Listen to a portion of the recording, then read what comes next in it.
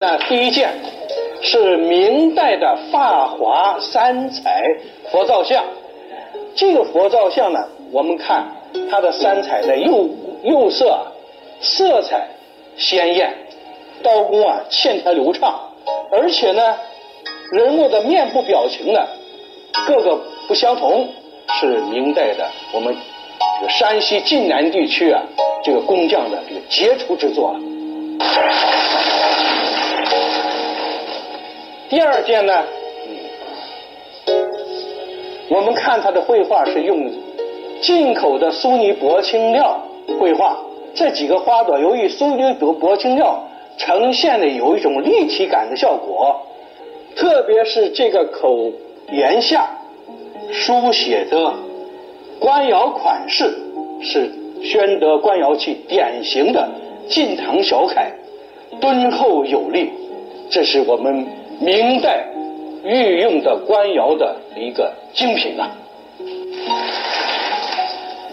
这一件是西晋的越窑青瓷的古仓罐它是一个雕塑、捏塑、印花、贴花啊集于一身的一件非常精美的艺术品。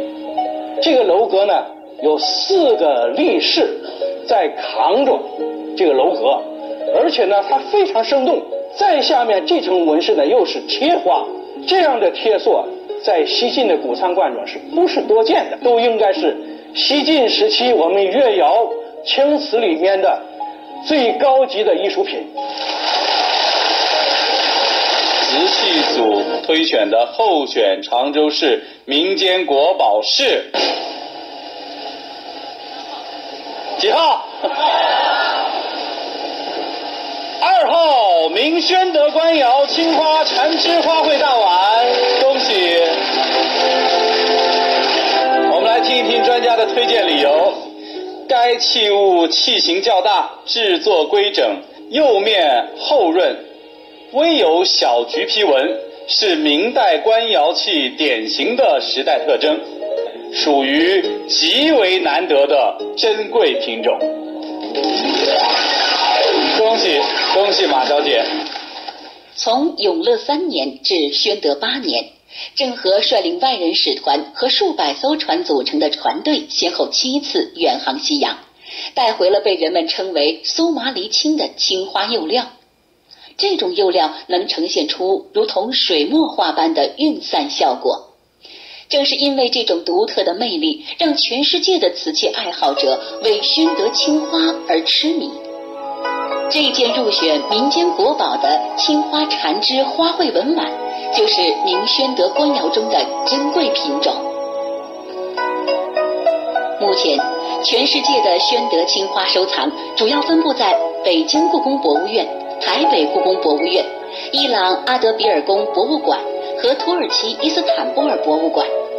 如果加上私人藏家的收藏，宣德官窑青花瓷器的数量超过三千件。宣德官窑青花瓷器品质最高，精品动辄就要上百万元成交。但是从上世纪九十年代中期到现在，国内拍卖市场上宣德官窑青花的最高成交记录仅为一千零四十五万元。这个记录是二零零五年六月由一件宣德缠枝花卉纹缸创造的。到目前为止。海外拍卖市场，宣德官窑青花瓷器的最高成交价格是三千五百万元港币。这个价格与清三代可以上亿元成交的彩瓷比较，相差甚远。它们之间的差距，为宣德青花瓷器留出了很大的上涨空间。影响宣德青花瓷器价格的因素，一方面精品难得一见，另一方面来自于人们对真伪的困惑。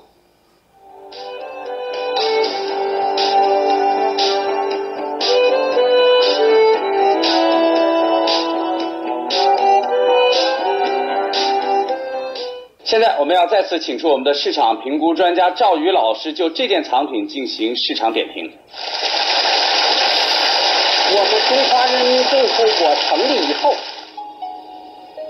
官窑瓷器，包括清代宣统时期的，一律不准出口。民窑瓷器要乾隆六十年以后的可以出口。为什么呢？因为官窑瓷器它的用料、用工都是全国最高级的工艺师来烧制的。这一个大明宣德的青花款的大碗非常珍贵，这些年代它的价位从几十万，现在呢有的卖到了三百六十几万。总的来说。明代宣德年间的瓷器数量很少了，它的升值空间却越来越大了。再接再厉，开始我们。